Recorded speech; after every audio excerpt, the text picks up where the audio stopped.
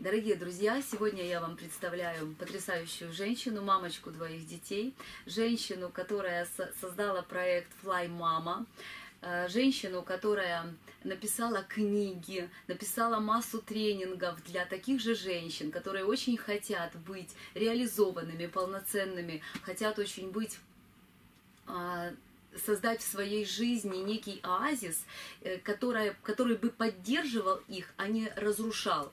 Эта женщина, она является бизнес-тренером, она является человеком, который несет некую идею порядка в мир любой другой женщины. Я вам представляю Светлану Гончарову и на тренинге, который недавно мне посчастливилось быть. И сегодня мы с вами будем говорить о том, как в наше бурное время стать вот той супер мамой, мамой на миллион, которая действительно может и коня на скаку остановить, и изба, и муж, и дети, и бизнес, и все остальное, чтобы это все было по полочкам и красиво. Светочка, ну что, давай начнем с того вообще, как пришла к этому всему и как это можно вообще взять и сделать в своей жизни порядок. Ты мне так представила, Наташа, вообще прям, прям коня на скаку, горячую избу, вот. Эм.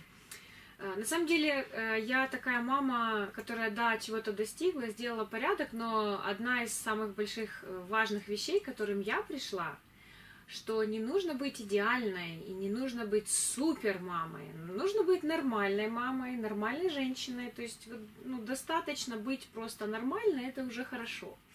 Вот. А как я к этому пришла, как, наверное, многие женщины, э, через свой кризис личный.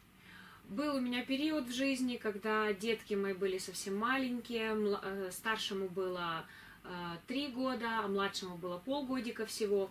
И я поняла, что я не справляюсь с тем, что происходит в моей жизни, что я не успеваю ни по дому, не поддерживать хорошие отношения с мужем. При этом я пыталась работать, я была фрилансером, занималась графическим дизайном на тот момент. Мне хотелось работать, у меня было много идей. И я понимала, что я не справляюсь. Вот какой-то вот, я не знаю, как на дно я опустилась. Э, Днем плакали дети, ночью плакала мама, потому что я, у меня просто валилось все из рук. Вот. И мне на тот момент казалось, что мои проблемы в том, что мне никто не помогает, что вот я одна такая прямо у станка, там муж не помогает, мама не помогает, дети очень требовательные, квартира маленькая вообще не там, где я бы хотела. То есть вот все не так вокруг меня, поэтому мне плохо. А, и как бы такой подход не работал, мне становилось все хуже и хуже. И однажды мне настолько было плохо, как-то утром, я помню, я проснулась, и мне настолько хотелось, чтобы люди поняли, что мне тяжело, и чтобы кто-то пришел, меня поддержал, э, что я взяла машинку для стрижки волос, ну, мальчиков мы наших стригли, вот, и срезала волосы, все, которые у меня были на голове, у меня остался такой ежик двухсантиметровый. Это такой был крик души. Люди, мне плохо, помогите, поддержите меня. Вот, э, муж, когда увидел, что я сделала, он сказал, ты что, как, что, что происходит? Я говорю, знаешь, вот теперь ты будешь на меня смотреть и будешь видеть, что у меня есть проблемы. Вот, что вот как-то мне может там помочь надо, что-то еще. Но на самом деле это не сработало, к сожалению. Я ждала, что все кинутся сразу меня спасать. Вот, э, э, друзья, знакомые сказали, ой, Света, ты новый образ ищешь, тебе очень идет, а кто тебя постриг так красиво? Вот, то есть вот этот твой, мой такой прямо выброс э, крик души, да, и вот попытка найти помощь, она была неуспешна, но для меня, вот лично для меня, это был такой момент, когда я поняла, что, э, что дальше уже, ну, скатываться некуда, что надо что-то, если, ну, то есть никто не приходит тебя спасать, ты должна сама для себя что-то сделать. Вот, я стала думать о том, что я сама могу сделать э, для себя, даже без того, что там мой муж прямо сейчас изменится, там квартира у меня будет другая, дети вырастут. Вот что я могу сама сделать. На тот момент э, я начала изучать систему Lady, одна моя подруга мне подсказала.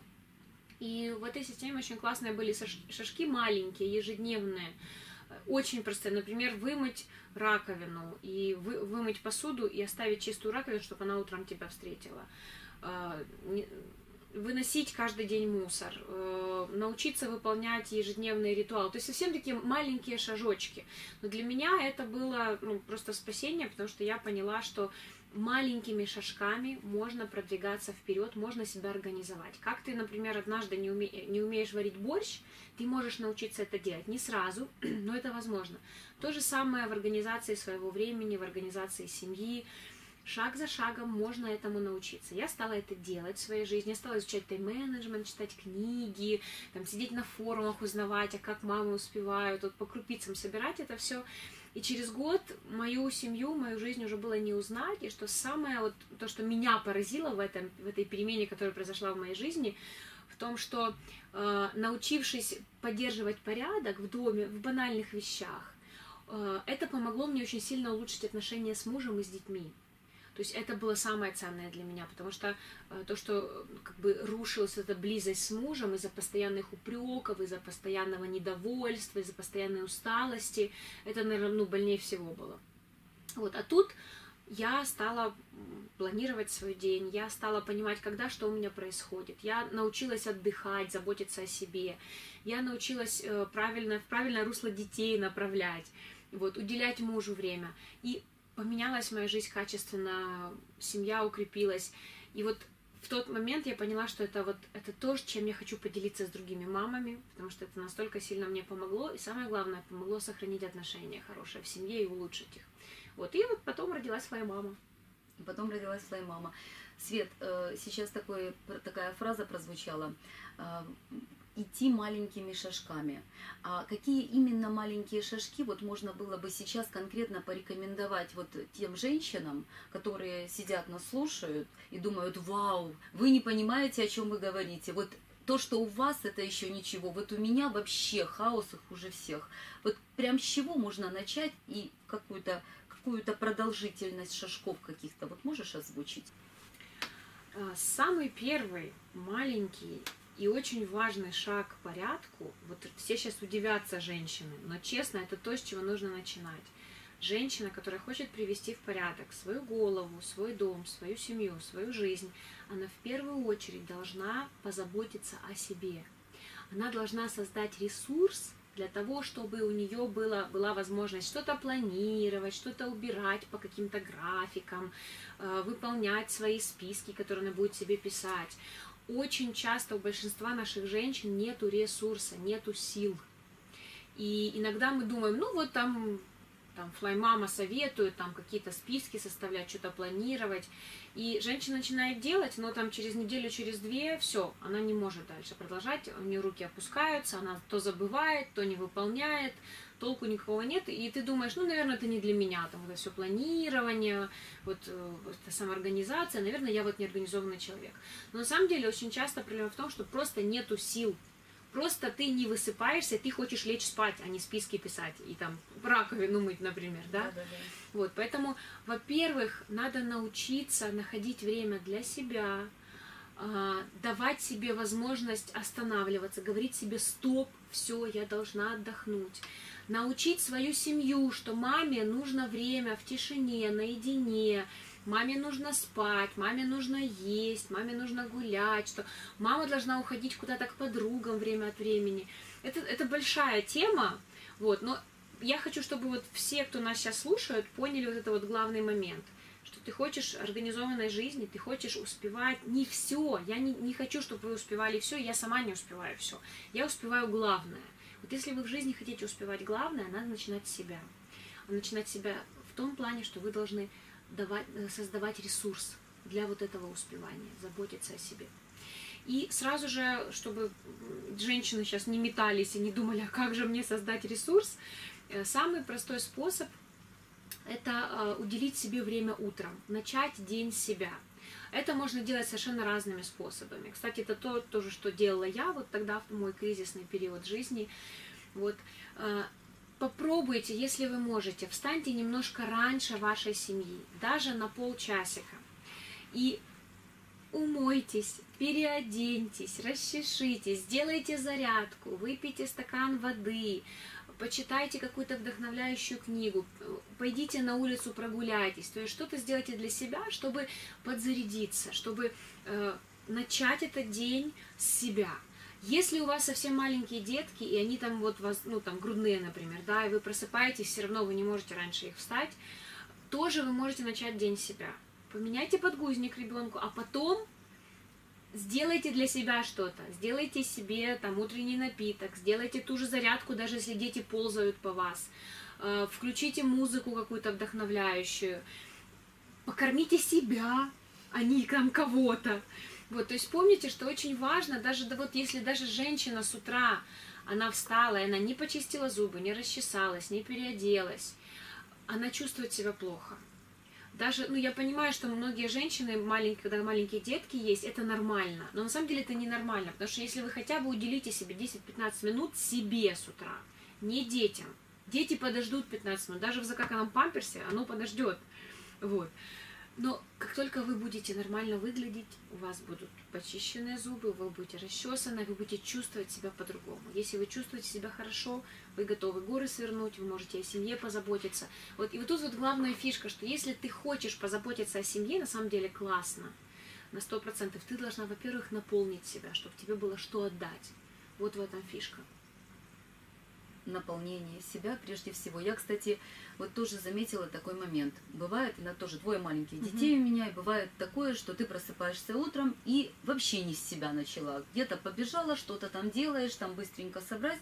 И на каком-то этапе я ловлю себя на том, что я в халате махровом, теплом, потому что особенно когда холодное время, mm. я еще мерзлячка, mm-hmm. и я в этом теплом махровом халате уже сижу за компьютером и что-то делаю. Дети уже mm-hmm. порасходились, и у меня нет желания из него вылезать из этого халата. И я очень четко отследила, как только я в халате работаю, что-то делаю, провожу день, у меня день ватный, он не, не активный. Он, я не могу о нем сказать, вау, какой день был, какой интересный день получается, что вот даже вот эта простая какая-то вещь, как халат, причем у меня еще есть три халата, да, ага. разные, и вот они еще по тяжести имеют значение. То есть есть халат тяжелый, после которого мне вообще, я вообще в нем ничего делать не могу. Я в нем как в каких-то путах хожу, он-то тепленький, он теплее всех, но он не, не способствует реализации. Поэтому вот на это такой, на такой момент надо обратить тоже, наверное, внимание, сбрасывать с себя максимально все, да? Да, сбрасывать, оставлять только самое важное и, во-первых, э, находить время для себя. Находить время для себя, тогда будет ресурс на все остальное. Вот если уже говорить про маленькие шажки, да, то вот первый совет был начинать утро с себя. И второй совет, чтобы вы могли начать утро с себя, надо помнить, что утро начинается вечером. И вот это очень важный момент, который очень часто многие мамы упускают – это как проходит подготовка ко сну и детей, и всей семьи, вот вечерний ритуал.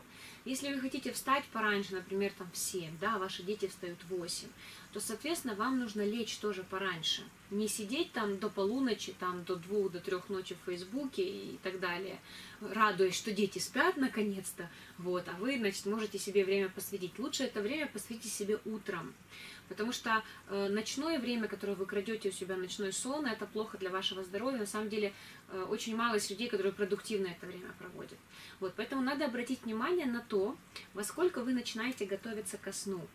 Потому что если вы хотите за полчаса уложить детей и потом сама вовремя лечь, ничего не получится надо минимум 2 часа, а то и больше, чтобы закончить все дела, там, помыть посуду, убрать на кухне, подготовить одежду на завтра, там, проверить уроки, чтобы дети помылись, сказку им рассказать, провести время с мужем, там, себя приготовить ко сну. То есть это минимум 2 часа.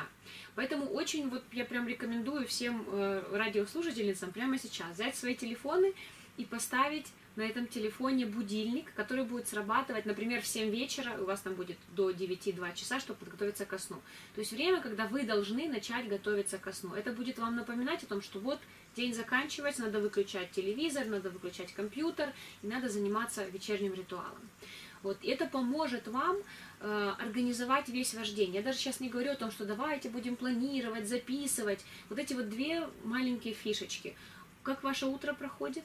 И как вы готовитесь ко сну вечером, ваш вечерний ритуал. Если вы это наладите, если вы поймете, как это время должно проходить у вас, вы сможете э, и весь остальной день организовать, потому что утро и вечер это две такие ключевые точки вашего дня.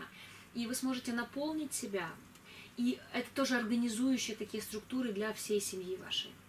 То есть мы понимаем, что у нас есть утро, с которого мы начинаем свой день, и поэтому чем качественнее мы это утро начнем, тем качественнее у нас пройдет день.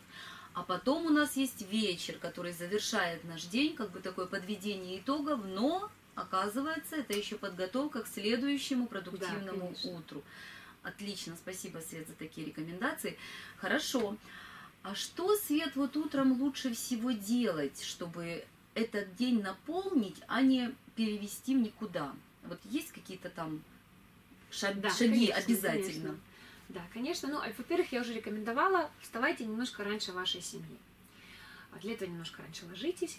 И э, как только вы встаете, я рекомендую не трогать ваши мобильные телефоны. О, э, планшеты. То есть очень часто ты просыпаешься еще в постели, ты проверяешь, что там тебе кто лайкнул, что тебе кто написал, а как там жизнь без меня, там я ночь спала, что там произошло. И как только мы берем наши гаджеты в руки, и мы смотрим комментарии, сообщения, мы сразу же переходим на территорию других людей, и мы уже не думаем о том, а что мне сегодня нужно, как я могу о себе позаботиться, э, что мне надо, день запланировать. То есть мы уже уходим со своей территории, мы уже не посвящаем это время себе. Даже если я увидела, что мне там э, какая-то подружка написала, Света, ты мне обещала и не сделала, там, бла-бла-бла. Даже я ничего не делаю, я уже думаю об этом, мое утро уже другое. Я встаю утром, я не трогаю смартфон, вот, я включаю э, плеер, в котором у меня аудиокнига, какая-то интересная мне аудиокнига, вот, и я делаю зарядку, я выпиваю стакан чистой воды, я привожу себя в порядок, как я уже говорила, Э, я слушаю аудиокнигу, то есть я делаю что-то, чтобы себя вдохновить, чтобы дать какую-то полезную информацию себе, вот, поэтому, э, во-первых, не трогайте ваш смартфон, во-вторых, э, выпейте стакан э, воды чистой, это очень важно, это поможет вам чувствовать себя лучше. Вообще чистая вода это чудесный способ заботиться о здоровье, заботиться о себе, создавать ресурс. Вот э, надо этого не забывать делать. Вот. И следующий момент это, скажем так, духовная и физическая зарядка. Нашему телу нужно проснуться, никаких особенных там сильных э, нагрузок с утра давать не нужно. Но немножко подвигаться, сделать какие-то пару упражнений из йоги, на растяжку, может быть, на легкую пробежку пойти на улицу. Это то, что позволит э, крови задвигаться, вы будете лучше себя чувствовать, вы проснетесь. То есть физическое ваше состояние, оно очень сильно влияет на ваше настроение, на ваше успевание, на все, что у вас будет происходить сегодня. Поэтому помните, что вот на машине не заправленной вы не доедете никуда, правда? То же самое с нашим телом. Если мы не позаботимся, не подзаправим его с утра, тоже никуда, ну, как бы наше тело нас не привезет. Вот. И духовная зарядка, это смотря, что кому уже нужно. Я, например, человек верующий, я всегда читаю Библию, молюсь утром, плюс читаю какую-то вдохновляющую книгу. Есть люди с утра пишут дневник, как-то анализируют свою жизнь. Есть люди, которые читают какую-то литературу э, вдохновляющую, там, о саморазвитии, что-то, вот, да, какие-то мысли себе забросить, которые тебя направят, вот как маячок, будут показывать тебе, куда тебе идти. Вот можете читать книжки мои для мам, вот, проекта Fly Mama, да, о том, как, что мама может сделать для того, чтобы стать более организованной. То есть что-то надо сделать такое, что не произойдет без вашего участия. Потому что э, Facebook почитать, сообщения почитать, почту почитать, телевизор посмотреть, вам не нужно усилия никакие прикладывать. И неизвестно, куда это вас приведет и какие мысли это вам навеет, и к чему это вас призовет. Вот, но выбрать книгу, которую вы осознанно выбрали, потому что вы хотите расти в какой-то сфере, читать эту книгу, слушать аудиокнигу, писать дневник, да, это то, что требует от вас усилий, и это как раз те усилия, которые помогают нам расти, которые помогают нам создавать ресурс для себя и потом отдавать это нашим семьям. И когда вот вы такое утро провели, встают дети, встает муж, и мама уже не такой незаспанный монстр, зомби, не выспавшийся, а мама, она уже прошла обновление, она готова, она понимает, что будет происходить. И тоже очень важный момент, в утренний ритуал включите простое планирование дня. Возьмите просто лист бумаги э, или какой-то там крутой ежедневник от флаймамы и запишите, что вы хотите сделать сегодня. Я, когда планирую день, э, планирую дела не просто пишу один список большой, что мне нужно сделать. Я разбиваю на три потока. Я пишу, что мне для себя нужно сделать, потому что, во-первых, мне нужно себя наполнить, себе позаботиться, чтобы было что отдать. Чтобы не забыть, я вот отдельно, отдельным столбиком это пишу. Дальше.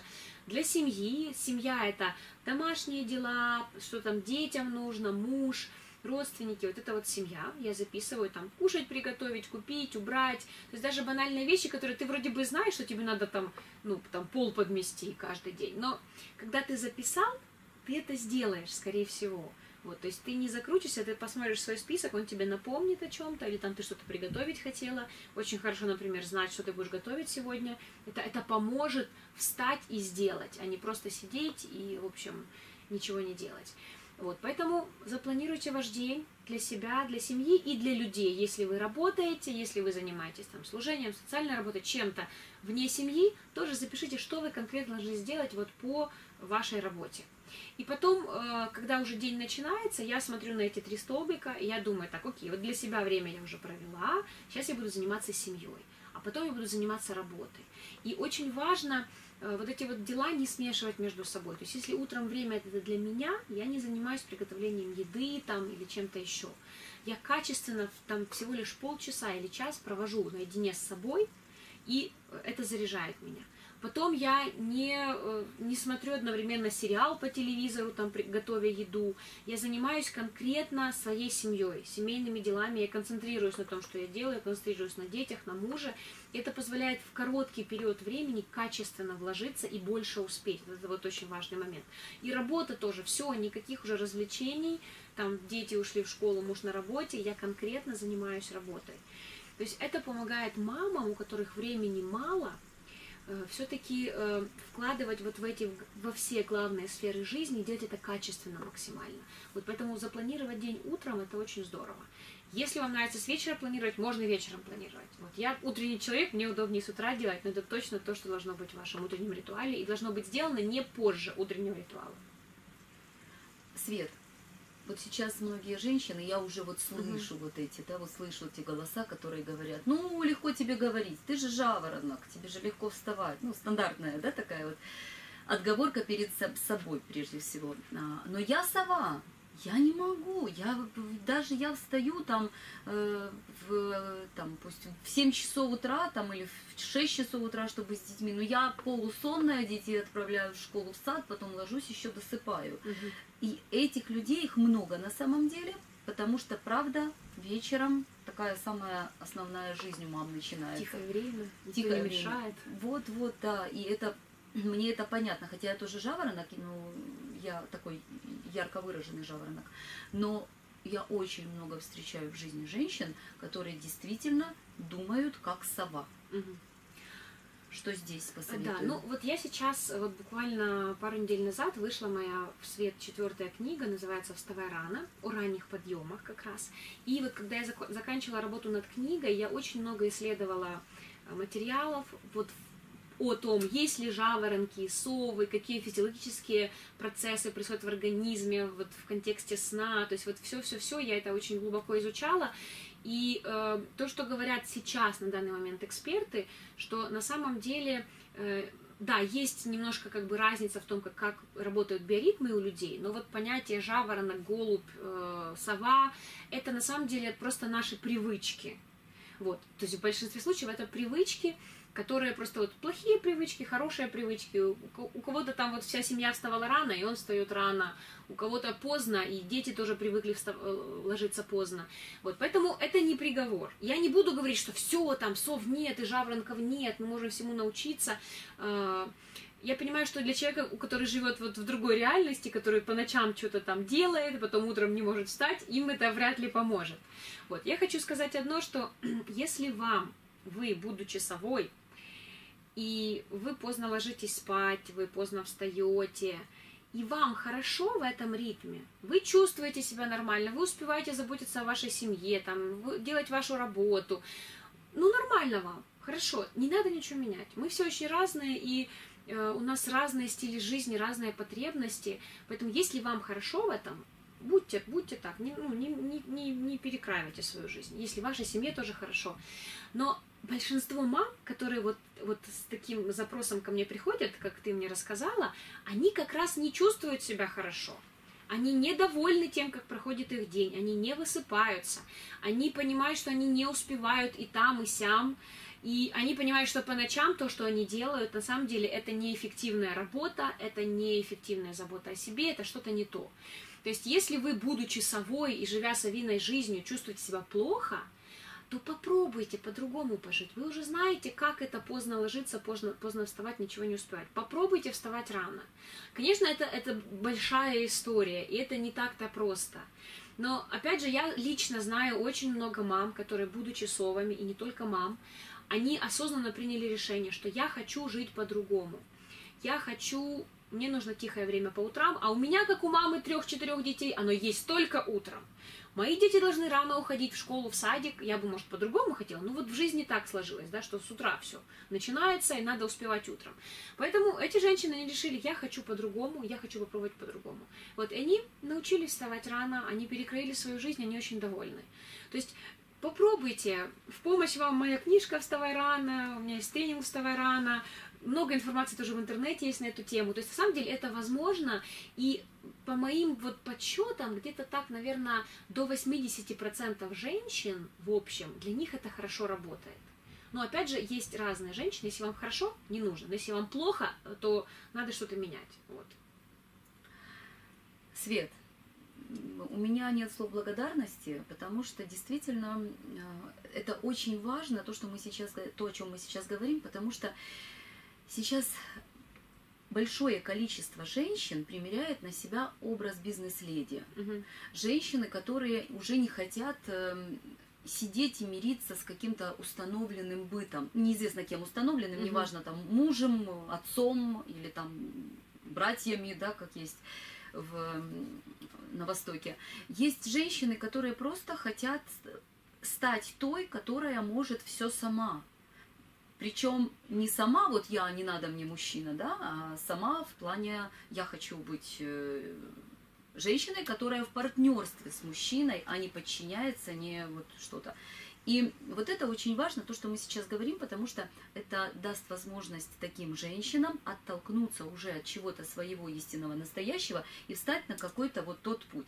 Свет, вот смотри, ты на этом всем смогла не только свою семью выстроить, ты об этом говоришь другим женщинам, и это все э, а, женщины применяют. Может быть, mm-hmm. есть какие-то яркие истории твоих клиенток, которые вот были вот в каком-то таком совсем недо, недоумении от своей жизни, и благодаря каким-то простым приемам или каким-то твоим вот, э, возможно, тренингам, mm-hmm. возможно, книге, возможно, вот так вот явно отслеженная такая история, которая привела вот в порядок, спасла, можно сказать, брак, жизнь, семью и вообще какую-то реализацию этой женщины. Ну, на самом деле таких историй очень много. Вот. И если вспомнить первый свой онлайн-тренинг, я провела в 2012 году. Это был источник сил для уставшей мамы.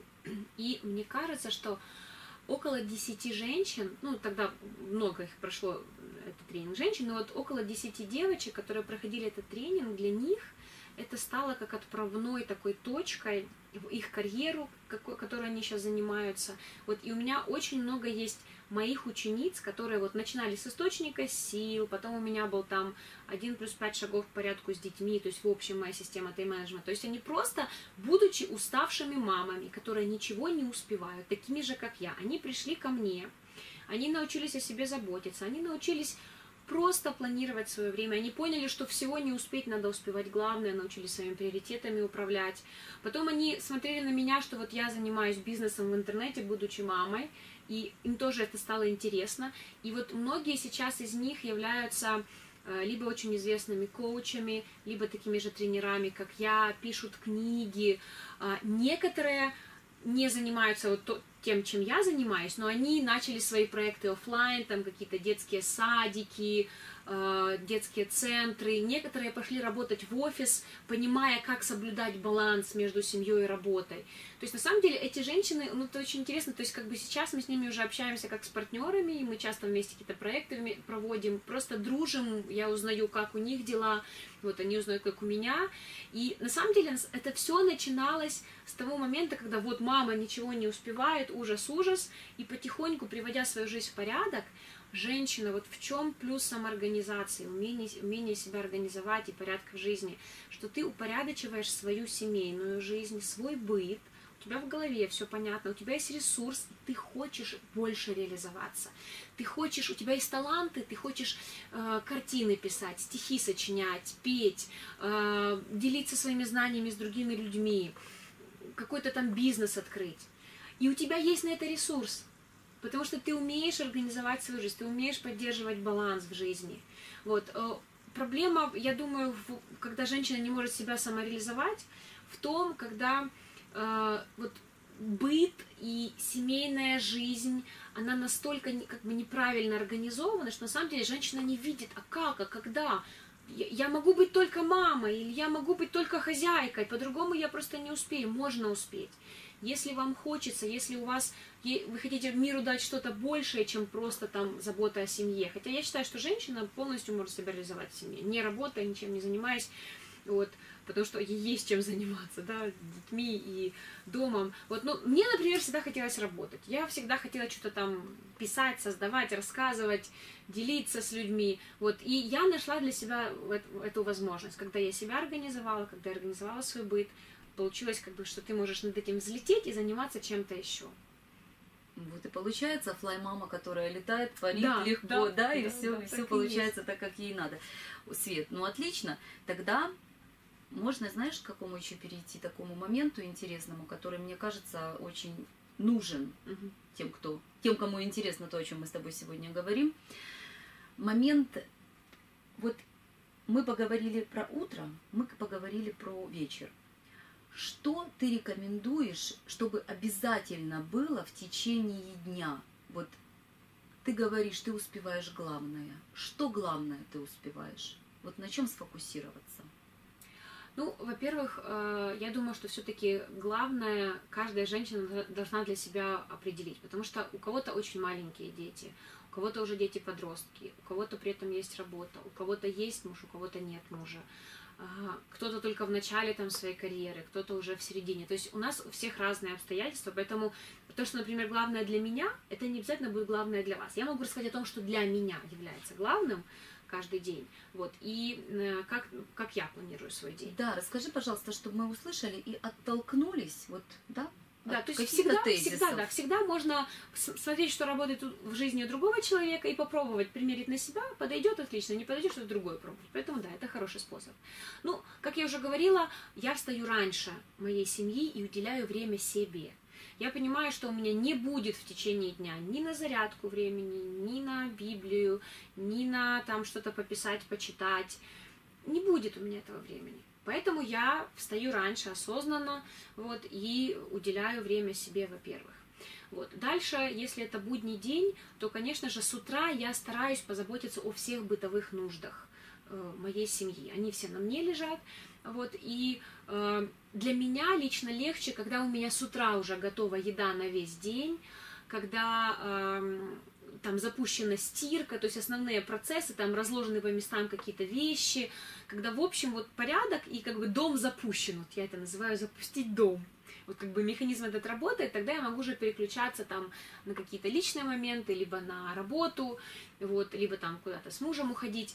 То есть вот э, я рекомендую вот такие вот бытовые э, вопросы, собирать их в один блок и прикреплять к какой-то части дня. Мне, например, удобно утром и приготовить, и убрать по верхам, и там стирку, например, запустить. Вот. Кому-то, может быть, другая часть дня тоже можно. Вот. Но э, то, что точно я рекомендую, это готовить один раз в день, может даже один э, раз в два дня. Вот. То есть лучше больше приготовить, и потом просто вы будете разогревать, какой-то салатик дорезать, и у вас будет уже готовая еда всегда. Вот. Дальше тоже то, что я стараюсь делать, как я уже говорила, я стараюсь концентрироваться на чем-то одном, то, что я делаю. Вот у меня есть план дня, я понимаю, что сейчас время, когда дети еще дома, мне нужно проводить их в школу, и я э, собираю им ланчбокс, например, и я успеваю там обнять их, поцеловать, поговорить, э, стараюсь поддерживать доброжелательную атмосферу, когда они собираются. Там они иногда говорят, ой, мама, не хочу идти в школу. Я их начинаю, мы с тобой что-то начинаем интересное рассказывать. Я рассказываю, что я тоже не ходила ходить в школу. То есть как-то я стараюсь, чтобы у нас вот было общение это. Э, и при этом я, там, опять же, не проверяю свой телефон, я не занимаюсь рабочими вопросами, только семья. Э, дальше дети ушли в школу, и у меня есть мои рабочие вопросы, и опять же я стараюсь выделять приоритеты, потому что, э, в принципе, мне кажется, что чем бы ты ни занимался, у тебя есть очень много рутины, которая всегда будет, там проверка почты, там работа с социальными сетями, там звонки какие-то, ответы на вопросы, какие-то встречи, которые нужны другим людям, а не тебе. И если ты не будешь в работе своей тоже выделять приоритеты и понимать, как, э, какие за, занятия, какие задания, они продвигают тебя к твоим целям. Например, вот в моей работе самое главное, то, что э, и самое сложное для меня, это, например, написание текста, когда я книги пишу, или создание новых тренингов, или запись видео для моего YouTube-канала. То есть это то, что я, например, не могу делать, когда кто-то рядом есть, там дети, муж, когда мне мешают это когда я должна быть максимально ну, в ресурсном состоянии, хорошо должна голова соображать. Вот поэтому эти вещи я делаю, во-первых, я не лезу в почту, в Facebook и в разные там другие места, я отгораживаюсь от всего, и я занимаюсь конкретно вот самым главным по моей работе с утра. Потому что я знаю, что после обеда я уже буду так себе, я уже смогу проверить почту, ответить там на всякие запросы. Вот, а самое сложное я делаю с утра, потому что это самое ресурсное мое время. Вот, поэтому тоже, опять же, вот это то, то, то главное, чему я уделяю свое время. Вот дальше, например, когда уже приходят э, дети и муж домой, я стараюсь, опять же, переключаться полностью на них. Если что-то по работе не успела, буду завтра успевать. Все, что я сегодня успела, там, там в 5 пришли, э, я закрыла компьютер, все, я со своими детьми, я со своим мужем. Вот. Тоже то, что мне вот в последнее время очень помогает, и то, к чему я не сразу пришла, очень важно научиться, опять же, если вы хотите успевать главное, вот эти вот ритуалы, маленькие шажки, научиться э, уделять полностью свое внимание детям и мужу. Например, муж приходит домой, и он заходит сразу с порога начинает что-то рассказывать мне. Там, вот я там на работе, бла-бла-бла, я ему задаю вопросы. Как я делала раньше? Он приходит, рассказывает мне, а я мою посуду, что-то накрываю на стол, там, ну, а что я буду время терять? Я же слышу, правда, что он рассказывает. А на самом деле э, ему не подходил такой момент, это было не общение для него. Вот. И мне кажется, для любого человека, да, когда ты рассказываешь, когда тебя смотрят в глаза, когда полностью человек с тобой, это гораздо больше смысла несет, чем когда кто-то там угукает. Мне мой ребенок младший э, говорит постоянно, мама, почему ты постоянно говоришь угу? Он что-то мне рассказывает, я, ага, угу, потому что о чем-то другом думаю. Не говори угу. Вот, поэтому вот это вот понимание, что да, это мое время, но я его посвящаю. Я откладываю там свою посуду, я сажусь напротив мужа и говорю, рассказывай. Смотрю ему в глаза, я полностью с ним, я думаю о нем, я... Ну, то есть, и это настолько, казалось бы, 5-10 минут в день муж счастлив, отношения укреплять, то же самое с детьми. Мы очень часто думаем, вот дети все время с нами находятся. И мы, а это я и так много времени ему уделяю. На самом деле нет. Детям тоже нужно ваше время, когда ваш, ваше тело, ваша душа, ваш дух, ваше внимание, ваш разум, все на них сконцентрировано. Вот если он купается в ванной и хочет, чтобы вы рядом с ним сидели, отложите свой смартфон, там, поиграйте с ним. 10 минут всего лишь, много не надо этого времени. На самом деле это, это бесценное время, которое помогает, опять же, сделать вклад в отношения. И даже если при этом я там чего-то не успею там в бытовухе в своей, да, ничего страшного, потому что это важнее. Вот. Поэтому это вот то, на что я стараюсь вечером сконцентрироваться. Но тоже, э, как бы, я очень люблю гулять и ну, как бы быть на свежем воздухе, и это хорошее время, когда мы можем общаться с мужем, с детьми, поэтому мы стараемся каждый день выйти на прогулку, э, вместе тоже побыть, если погода хорошая, то как бы то, что мы очень сильно любим. Вот, и опять же, то есть, когда уже день заканчивается, вот я понимаю, что подходит вечерний ритуал, и э, обязательно я подключаю тоже детей своих к нему, то есть они знают там, что нужно поубирать, поскладывать. Вот, кстати, тоже каждый день я стараюсь, чтобы у детей был какой-то такой вот в их чек-листе задание «Помощь маме». То есть они там должны или пол помыть, или стирку загрузить, разгрузить, или там развесить что-то, или что-то пойти купить. Вот, то есть это не обязательно что-то, что там кардинально облегчит мою бытовую жизнь, но дети должны знать, что каждый день они что-то, какой-то вклад в семью вносят. Вот я стараюсь тоже за этим следить. А, и тоже я помню, что особое время, э, это время перед сном. То есть если я вовремя начинаю свой вечерний ритуал, у нашей семьи есть время побыть вместе. Мы, например, э, перед сном мы всегда молимся вместе, а перед этим мы рассказываем друг другу, за что мы благодарны сегодня. Каждый говорит хотя бы минимум одну вещь, за что я сегодня благодарен. И на самом деле, если правильно организован вечерний ритуал, и у вас есть это время, когда вы вашей семьей вместе, когда вы делитесь самым ценным за день, когда дети могут сказку послушать, когда дети, ну вот по вечерам дети очень они открыты родителям, они и могут рассказать вам то, что не рассказали бы в другое время, и могут услышать от вас и принять что-то очень важное, какие-то ваши ценности. Поэтому вот польза планирования, она банально в том, что у вас остается время на вот такие вот вещи, которых часто не бывает из-за спешки, оттуда прибежали, туда побежали, тут не успели, а тут уже спать надо ложиться, потому что утром-то в школу, и вот этого времени драгоценного семейного его нету. Поэтому я стараюсь, опять же, вот чтобы это планирование всегда работало, особенно вечерний ритуал, это чтобы было это особенное время, которое создает, по сути, семью, в том виде, в котором она нам нужна. Вот. Ну и тоже я стараюсь сюда лечь вовремя спать, не позже 10, потому что встаю где-то в 5 пол шестого. Вот, то есть я уже понимаю, что вот я готовлюсь к утру. Я ложусь спать и уже готовлюсь к утру.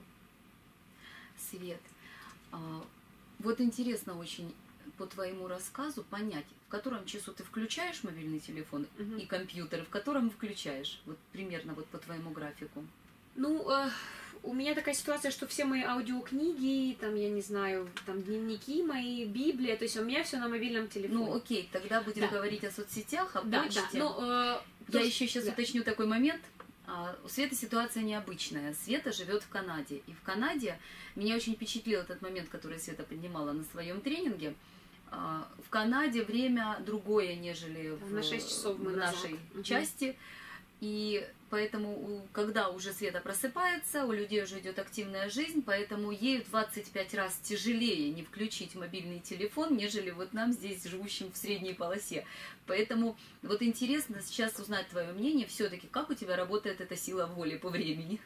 Да, но я заметила, что иногда я бывает ночью просыпаюсь, там в туалет сходить или воды выпить, и если у меня лежит рядом телефон, он сразу начинает это, вот эти уведомления, то есть я, у меня практически все уведомления отключены, но некоторые все-таки у меня светятся, вот, и я уже знаю, что у меня там, не знаю, три ночи, а Украина уже бушует, уже сотрудники мне что-то пишут, вот, я начала просто ставить в авиарежим э, телефон, когда я ложусь спать, я включаю авиарежим, все, то есть мне надо написать, я могу почитать свою книжку, могу послушать аудиокнигу, у меня все есть, все офлайн работает. Вот, поэтому я думаю, что я стараюсь не включать свой телефон как минимум до 8 утра, когда дети уже ушли. Вот, и тогда я уже могу заниматься работой своей.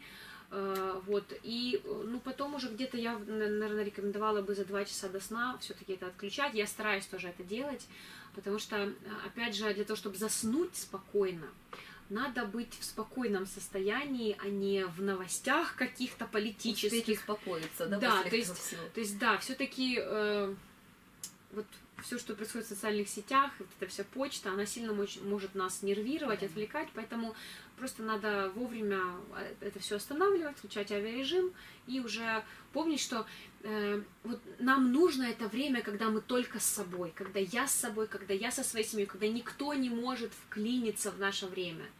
Кажется, что, э, ну, это же мои клиенты, это же моя свекровь, это же мои друзья, которые что-то хотят, я же вроде должна и трубку взять, и на лайки ответить, и там, я не знаю, комментарии написать. Вы никому ничего не должны. Вы, ну, не знаю, должны, наверное, детям и мужу своему, вот, и себе. Вот, вот это драгоценное время, мы очень часто его теряем. И, кстати, переехав в Канаду, я вот это ощутила очень сильно, потому что когда 6 вечера у нас, уже 12 ночи в Украине. То есть никто меня не хочет, никто мне не пишет, никто мне ничего не, не требует от меня. И я э, по-настоящему ощутила, как это, когда... Э, то есть даже если я зайду в Facebook, там ничего не происходит, все спят. Э, когда... То есть, когда здесь плюс такой есть, да, утро минус, а здесь плюс. Да, ну, то есть, я, ну, не то, что вы это можете ощутить только что в Канаде, но вот я особенно это ощущаю, что вот это вот мое время, которое я могу потратить так, как я хочу, так, как хочет моя семья, вот внутри себя и внутри нашей семьи. И на самом деле это, это очень укрепляет э, и семью, и внутренние ресурсы чтобы потом утром встать и потом заново начать все делать, то, что ты делаешь. Вот, поэтому вот как-то так. Свет, а если дети выходные или, не дай бог, заболели? Сбивается ритм? Или все-таки у тебя как-то э, какой-то план Б, время Ч или еще что-то есть, наработки какие-то? Ну, э, тут еще дело привычки, да, потому что Э, мы живем э, далеко от родственников, у нас нет никаких помощников. На самом деле, если ребенок заболел или выходной, у нас в Канаде часто бывает, что там, там полдня школы или нету школы вообще, там по каким-то причинам. Вот дети остаются дома, а мне вроде как работать тоже надо. Поэтому, э, во-первых, надо не паниковать в таком случае. Вот. И э, понимать, что если вот какой-то форс-мажор происходит, например, там дети заболели, вам надо и вроде и работать, и детьми заниматься, и все сразу, надо понимать, что от чего-то надо отказываться. Я стараюсь в такие дни к минимуму сводить быт, либо пере, перегружать какую-то какую часть быта на плечи детей. Например, я им говорю, так, завтрак будете готовить вы. Вот, они там могут омлет пожарить, то есть им это нравится. Ну, конечно, оно не так будет, как я. Вот, но тем не менее, они это могут делать. Вот. И э, в такие дни, опять же, я отказываюсь от каких-то бытовых моментов, чтобы больше времени детям уделить и, возможно, работе. И с другой стороны, я понимаю, что когда дети рядом, я не могу выполнить всю ту работу, которую бы я выполнила без них. Поэтому я просто спокойно откладываю свою работу, беру детей, и мы идем гулять с ними в парк, вот, и проводим время вместе. Тут тоже очень сильно помогает планирование, да, то есть когда я понимаю, вот я запланировала себе день, я понимаю, что для меня самое главное, какие мои приоритеты. И независимо от того, как себя дети ведут или как себя чувствуют, дома или не дома, я понимаю, что вот, например, мне точно надо там отправить это письмо. Или мне точно надо даже уже с детьми поехать в этот магазин и там что-то купить, что я планировала. Или там убрать что-то. Вот просто дети, они уже подключаются к этому. Что-то я выбрасываю, я понимаю, что нет, я это не успею. Но э, самое главное, все равно я могу выполнить даже вместе с детьми. Плюс тоже помогает очень такая фишка, э, когда, э, которая называется «Вместе работаем, вместе отдыхаем». То есть, э, как часто в семьях бывает, ребенок приходит и говорит, мам, включи мультик, ну включи мультик, ну дай планшет, ну дай планшет, ну я хочу поиграть на компьютере. И вот это нытье, оно не без остановки, мама говорит уже, иди, только не трогай меня. Многие мамы мне рассказывают о том, что они готовят кушать, пока дети мультики смотрят, потому что дети им мешают. Вот. Но на самом деле выход в другом. Выход в том, чтобы и вы, и дети, понимали, что вы вместе выполняете домашние дела, занимаетесь какой-то работой, а потом вы вместе отдыхаете. То есть мультики у меня дети смотрят и на компьютере играют только тогда, когда приходит время мое тоже отдохнуть, расслабиться, либо какой-то кусочек работы свой сделать. Да? Нет такого, что там дети встали и с утра стали мультики смотреть.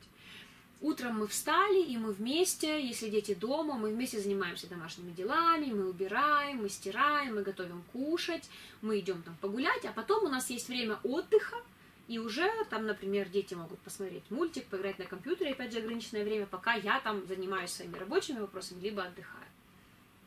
Свет, это так важно вообще на самом деле, вот эти гаджеты все наши новые, планшеты, телефоны. Э, Еще знаешь, такой момент есть, э, я по своим детям замечаю, и опять-таки, ну, люди, с которыми я общаюсь, дети не хотят кушать без планшета, мультика, Ой, телефона. Вот э, есть какие-нибудь, может, такие живые рекомендации, одна, две, три, сколько есть наблюдения по этому поводу? Ну, обычно э, это не со зла все происходит у родителей. То есть никто не хочет калечить своих детей, никто не хочет, даже там, когда ты вставишь этот планшет перед ребенком, когда он ест, ты думаешь, блин, зачем я это делаю, мне это не нравится. Но ты это делаешь, потому что ты по-другому думаешь, ну а как, сейчас оно будет ныть, сейчас оно будет что-то от меня хотеть, сейчас не будет есть. Вот у меня тоже такая фишка была, э, типа, ну мне ж надо знать, что ребенок поел. Значит, надо в него запихнуть там 10 ложек каши, каким бы путем я это ни сделала, чтобы я знала, что ребенок поел. Вот. Но на самом деле э, это, конечно, все очень плохо. И э, откуда это все идет? Это все идет оттуда, что как мы сами едим. Включай, включи в телевизор, включи в компьютер, что-то смотрим. Вот я сама знаю, я сама с этим борюсь. Очень иногда хочется поесть и посмотреть что-то. Типа вот ты вроде как приятное с полезным, mm-hmm. вот, но на самом деле это плохо. Почему? Потому что, во-первых, мы переедаем, мы съедаем больше, чем нам нужно. А, во-вторых, э, когда ты кушаешь, и ты сосредоточен на своей еде, э, то ты, ну, она потом лучше переваривается, ты лучше насыщаешься. Вот, и, конечно же, когда, когда эти гаджеты не прекращаются, э, это плохо и для психики ребенка, и для зрения, и для общения в семье. Вот, поэтому, что бы я бы порекомендовала, я понимаю, что, возможно, для многих семей это будет сложно, но это то, что нужно сделать.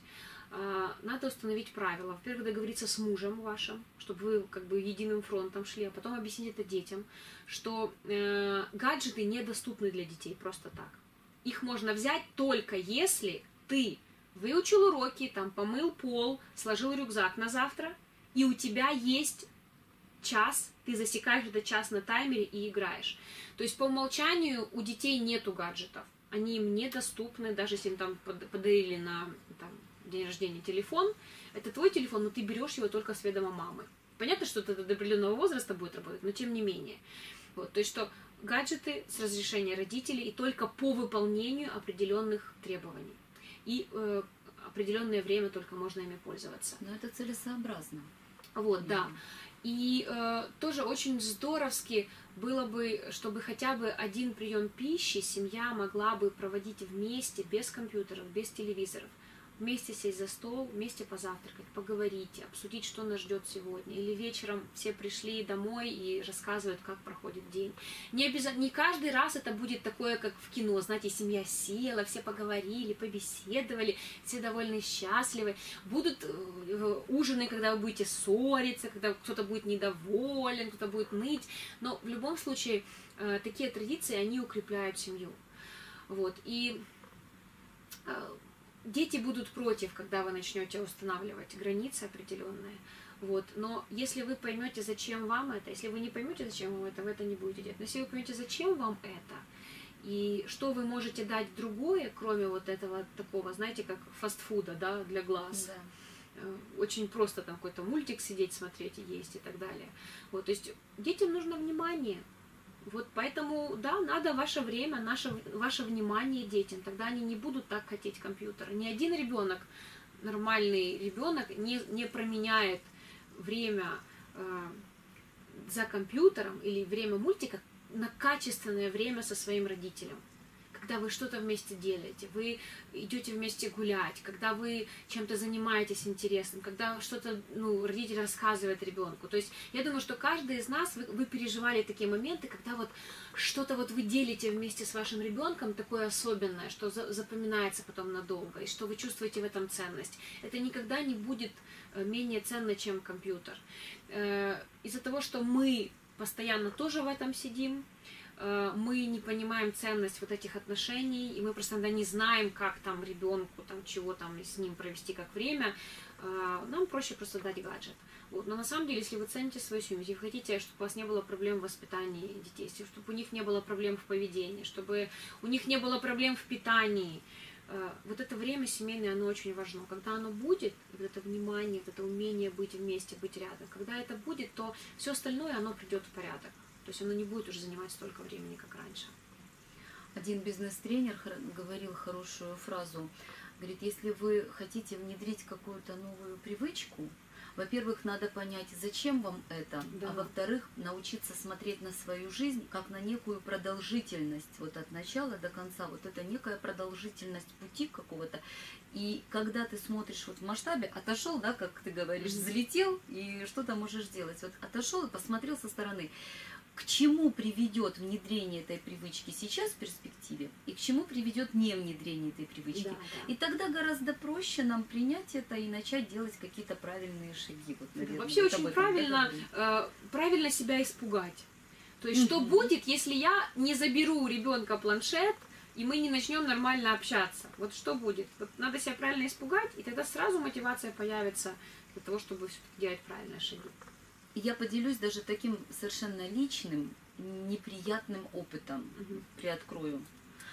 А, у меня есть дочка, и когда-то в то время, когда она была совсем маленькой, вместо того, чтобы читать ей сказки перед сном, я вообще очень много читаю, я очень люблю читать, эти книги поглощаю тоннами, но мне гораздо было интереснее почитать что-то себе. Я ей рассказывала какую-то 25-ю сказку в полузакрытом сонном состоянии, ну что она там еще понимает? так понимаю, правда? Я думала, это я одна такая, думаю, сейчас как открою тайну. И вот в полусонном этом состоянии про Колобка, и причем еще про Колобка рассказываю сказку, вот когда вот эти вот медведь, вот эти вот, оно монотонное, я еще так протяжно, чтобы она же скорее уснула. Проходит какое-то время. Да, я за это время сделала определенный скачок в развитии, потому что я, правда, очень много читала. Кормлю грудью с книжкой, везде коляской с книжкой. И, но ребенок не любит сказки, не любит читать, тем более сама. То есть она может попросить что-то там, там прочитать. Ну вот так вот, чтобы мы сели и прочитали какую-то книжку длинную вместе. И я сейчас это наверстать не могу. Получается, ей сейчас 8 лет, и я никак не могу привить ей любовь к чтению, несмотря на то, что говорят, вот вы сами читаете, и дети будут читать. Нет, детям надо читать, чтобы Да, надо читали. читать с детьми. Это очень важный момент. Читать с детьми. Очень многие родители говорят, вот, почему ты не любишь читать, ты лентяй, ты лодырь. При этом сам родитель никогда ничего не читал детям. Вот. И тоже то, о чем говорят психологи, что вот это время, когда вы садитесь вместе, то есть часто вы обнимаетесь, часто вы рядом находитесь. На картинках, да, есть Да, да, такие вот, красивые. То есть вот, вот это вот э, ощущение близости с родителем во время чтения, оно потом э, заставляет ребенка взять книгу самостоятельно и тоже читать, потому что это будет возвращать его вот в это приятное время, когда вы вместе. Вот как важно. Вот поэтому да, надо читать вместе с детьми. Это для меня это тоже напоминание. Вот, потому что я тоже не, ну как я не скажу, что у меня идеально в этом все. Свет, сколько лет твоим детям сейчас? Моим детям сейчас 11 с половиной и 9 лет. И ты говоришь, они тебе помогают по дому, по быту. Да, уже даже так э, довольно профессионально. И это как-то началось, вот ты постоянно их с детства прививала им это? Или все-таки это как-то не было, не было, не было, а потом я теперь буду учить своих детей мне помогать? И это было с каким-то треском. Ну, по-разному было. Когда первенец мой только родился, то я как э, нормальная новоиспеченная мама, которая ничего не знает, я там э, убирала, готовила, пока он мультики смотрел там, а когда он засыпал, я тоже там бежала котлеты жарить и квартиру убирать. Вот, и э, он стал подрастать, и он вообще не интересовался тем, что там на кухне у меня происходит, а почему я это должен делать? Типа, а зачем? То есть это какая-то новость была, что что-то надо делать. Вот. Но с другой стороны, когда у меня появился второй ребенок, он был очень ручной. То есть он все время требовал моего присутствия. Поэтому мне ничего не оставалось. То есть ему не, не- на него не работали ни мультики, ничего. Ему надо мама была. И это было очень хорошо, потому что когда я готовила кушать, у меня не было выхода. Я садила его в стульчик высокий, что-то ему давала, какие-то кастрюли, и сама готовила. Когда я шла стирать, он мне закладывал и выкладывал белье. Просто потому что никуда дети его не могла. Сначала он смотрел, как я вытаскиваю белье из машинки, потом он, конечно же, хотел тоже это делать. Вот, и до сих пор сейчас вот мо- мой младший, он более такой именно вот в хозяйственных делах, он все время активист, все время он все хочет делать, и эм, с ним проще в этом плане. Вот, но э, что я заметила, когда вот мы особенно переехали в Канаду, когда уже, знаете, нету, раньше у меня там и няня была, там и бабушка, и дедушка, и кто-то мог прийти помочь, э, еду можно было заказать, там немножко все по-другому, там другие цены, и, ну, культура другая. Вот, и я осталась одна вообще полностью, и все на мне такое впечатление было. Да, там муж, он там мог продукты купить, ну, в общем, домашние дела все на мне. Я в какой-то момент поняла, что я не хочу так. Вот, я хочу, чтобы э, у меня было время не только на домашние дела, я хочу, чтобы моя семья участвовала. Э, и я поняла, что многие вещи, которые я думаю, вот, муж, ну, там, он не делает вот этого, там, он там посуду не моет, как он может. То есть я на него злюсь, но я его не прошу помочь. Вот. А ему на самом деле очень легко. Он делает, и я уже не злюсь, у нас уже лучше отношения. И тоже очень важный момент, который я поняла, что если вы хотите, чтобы дети хорошо себя вели, в их жизни должны, должны быть вещи, за которые они отвечают. Потому что маленький человек, за которого все решается, то есть, по сути, дети наши не принимают никаких решений серьезных. И э, маленьким людям это сложно, это тяжело. То есть маленький человек хочет что-то решать, хочет понимать, что у него есть сила э, чего-то доказать, э, что-то сотворить, что он сильный, что он мощный. Поэтому дети часто спорят с родителями. А я не хочу, а я не буду, а я хочу по-другому. Вот, но дети, которые регулярно выполняют домашние обязанности, которые понимают, что это моя ответственность, я ее делаю, мама мне за это благодарна, я молодец, если бы я это не сделал, этого бы не произошло.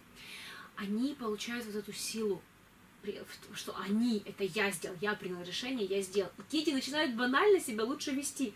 Мой младший ребенок может ходить, хныкать, что-то там от меня требовать, мама, мне скучно. Я говорю, Макс, давай мы с тобой сейчас будем стирать. Он говорит, так, хорошо, где тазик, где белье, мама, давай неси.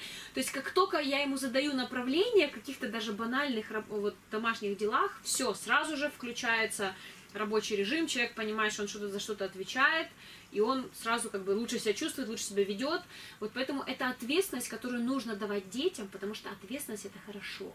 Это укрепляет самомнение, уверенность в себе у ребенка, и ему не нужно бороться с вами, ничего доказывать вам негативным своим поведением. Вот, поэтому э, у меня, я думаю, были такие периоды, когда я думала, вот надо вот этому уже, вот этот подрос, ему можно что-то передать, и я начинала чему-то учить.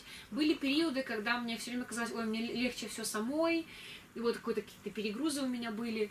Эм, а были, опять же, другие периоды, когда я понимала, что все, вот мы начинаем чек-листы заполнять, там на ютубе я выкладывала много видео. Вот были периоды, когда, например, раз каникулы настали, и то дети в школе, и вроде нет у них времени заниматься домашними делами. А вот мы на каникулах, и они только хотят в планшеты смотреть. Окей, будет планшет, но будет сначала это, это, это, уборка, покупка, приготовление, а потом будем все отдыхать вместе. Поэтому оно как-то такими волнами у нас накатывается. Я стараюсь не перегружать детей, когда я вижу, что они уже от своих чек-листов уже прям заскучали, я где-то смотрю сквозь пальцы, я где-то что-то упускаю, я где-то даю возможность им что-то не сделать. Вот. Но в общем у нас такая атмосфера поддерживается, что, ну, что если мама просит, то надо помочь, в принципе, помогает с удовольствием, что вот есть определенные обязанности, которые мои, я их должен выполнять. Вот, и я еще поняла тоже важную вещь, что э, лучше потратить время и свои силы на то, чтобы объяснить ребенку, показать, как пожарить омлет, как постирать, как вымыть пол. Мама думает, я лучше быстрее сама приготовлю, да. правда? Конечно, ты быстрее приготовишь, но ребенок-то ничему не учится. Потрать время на то, чтобы ему объяснить, его научить, и потом это время тебе вернется, потому что ребенок сам будет что-то делать. И плюс он приобретает жизненно необходимый опыт, чтобы обслуживать себя, чтобы заботиться о своем доме. То есть это то, что ну, катастрофично нужно и мальчикам, и девочкам в будущем. Светлана, ты сегодня нам приоткрыла очень много разных завес и, и занавесочек.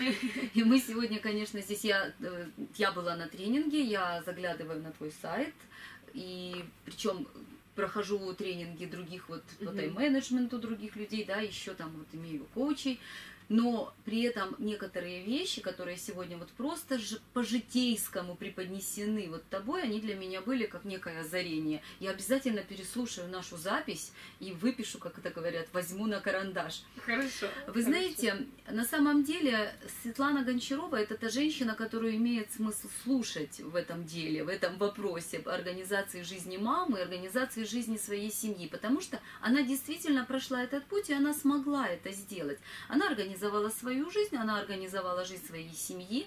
Она после того, как это сделала, или в процессе того, как это делала, еще и запустила свой очень успешный, хороший проект в интернете, а это большой показатель, потому что если бы она была с какими-то запачканными мозгами, вот, то она бы никогда этого всего не сделала. Причем этот проект Fly Mama позволяет изменять жизни таких же вот нас, загнанных мам, к лучшему, и позволяет организовать свою жизнь так, что мы тоже можем так же, знаешь, как, как ты это делаешь, да, how do you do, говорят англичане.